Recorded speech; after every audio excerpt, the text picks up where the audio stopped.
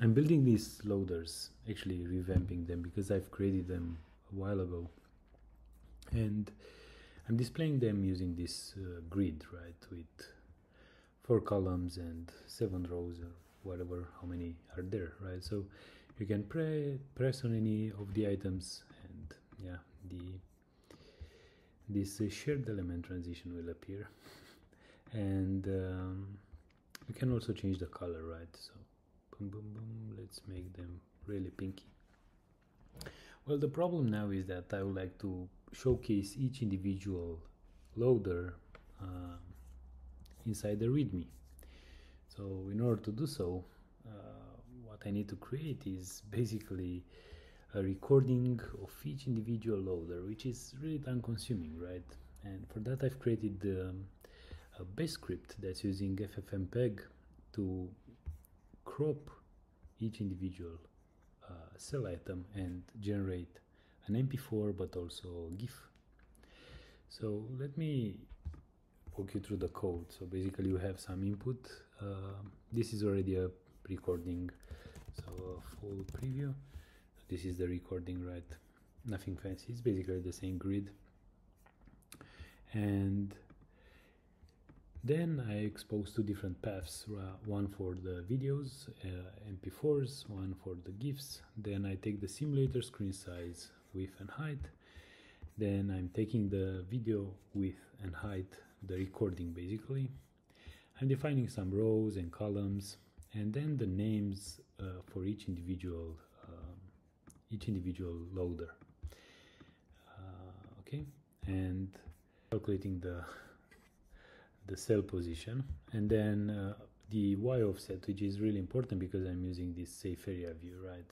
Um, then I'm defining the frame rate and whatever I'm making some directories. But here is the funny part right? So I'm iterating over the rows and columns and I'm just breaking uh, this is break 2 because I need to break two different loops. Uh, in case when the index is greater or equal than the name the names list right? So this means that I, I don't want to uh, proceed with the recordings. Uh, but otherwise uh, I'm defining the start X and the start y position based on the column and the row. And also uh, for the rows I'm uh, adding the y offset which is the safe area view.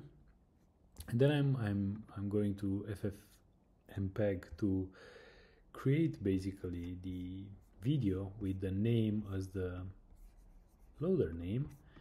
Um, I'm creating at 60 FPS uh, and I'm cropping this entire video by the cell width, cell height, start X and start Y and then the output. Okay? And then I'm increasing the index. So increasing the index. So this is for the MP4s and now uh, GitHub uh, is not able to play MP4s in line, which are like local paths. So I have to create GIFs.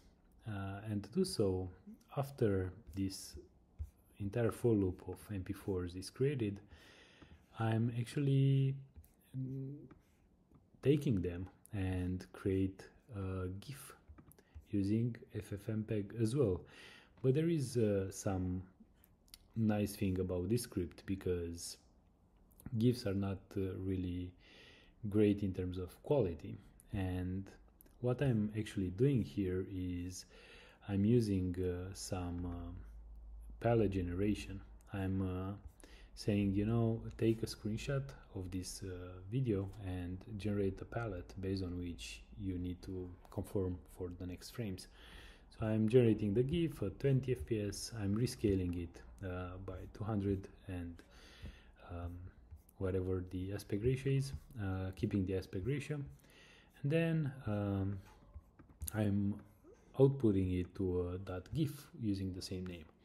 And now if I open up the uh, uh, the scripts here, so the extract video, and run it, and also open here the the previews, which is uh, where I'm going to save everything and hit enter. You'll see videos appears and for each individual one I have a video which is uh, amazing running at 60 fps but the nice thing is that i also have the gifs and the quality it's amazing. So yeah this is um, going to save quite a lot of time especially if you're working with grids and you wanna showcase something uh, but yeah i found it uh, nice. It was like a nice uh, hack uh, to just save some time. Maybe in the future i'll update the loaders and whatnot. So i don't want to go and manually generate the videos or the gifs uh, yeah